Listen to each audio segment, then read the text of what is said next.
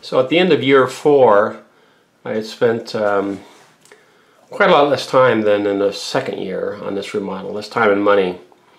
Here you can see I did 139 hours, about two and a half thousand dollars.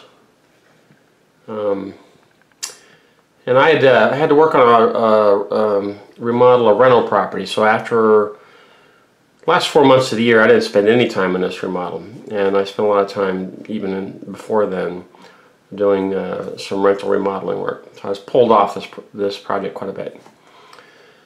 But after four years, we're around twenty-one thousand dollars and um, a little over a thousand hours. So hopefully next year I can uh, pick up the pace and start getting going on this thing again.